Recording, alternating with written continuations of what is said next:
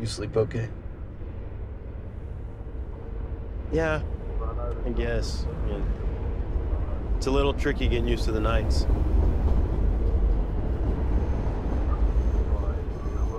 Yeah.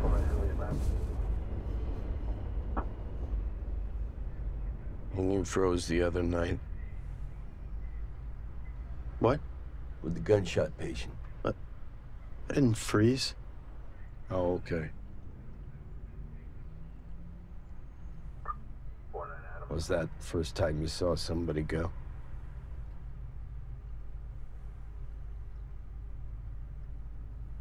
No. I was with my mother when she passed. Yeah. That's how it starts for a lot of guys. Seeing someone they care about taking their last breath.